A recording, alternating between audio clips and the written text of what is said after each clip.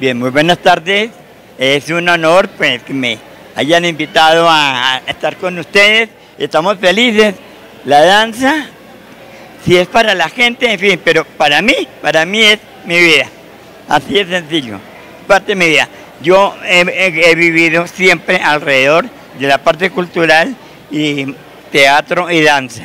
Pero en estos últimos tiempos la danza es, es el lenguaje del cuerpo, es la, única forma como tenemos nosotros de manifestarle, manifestarnos a la gente y contarles quiénes éramos, de dónde venimos, para que conozcan su pasado y así puedan proyectar su futuro.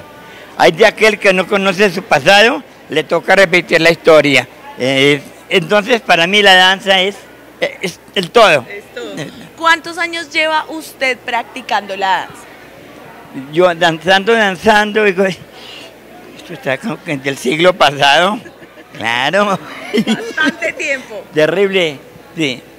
Yo desde pequeño, este, cuando estaba en primaria, soy de Huasca, Cundinamarca. Estando en primaria, ya teníamos de allá grupo de danzas en Huasca. Le estoy hablando de 1950, no, ayer, ayer, fue ayer. Sí, claro. Después en Manizales, yo estuve en Manizales, allí aprendí, allá aprendí a querer más la cultura. Es una, la capital de la cultura, ahí te- teatro y danza. Estuve en el Palacio de Bellas Artes de Manizales y me aficioné por la danza.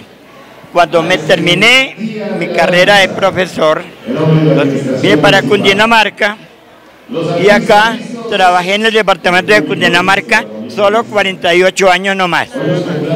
Y me echaron, echaron, que porque los muchachos sufrían demasiado. Entonces, sí, bien.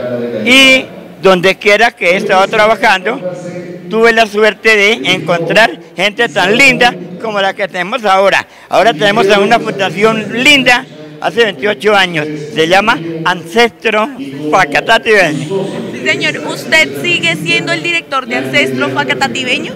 Yo soy, a mucho honor, a mucho orgullo, eh, el grupo, la familia Ancestro me aceptó, me aceptó. Yo fui el fundador de la, de la familia Ancestro, en el colegio industrial, con el colegio comercial. Desde ahí me nombraron disque director. Pobrecitos, no saben el palo que han comido. Pero sí, eso es mucho honor. Llevo hasta ahora 28 años con Ancestro y, y bailando por Colombia. Todavía bailo bambucos, aunque estoy en tierra extraña. Extraña porque los brutos la vendieron a la extranja.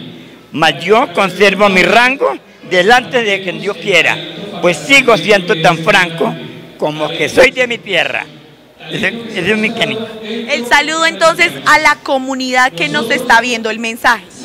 El mensaje era ese, el mensaje era, sí, que este era un tema del maestro Eugenio Arellano.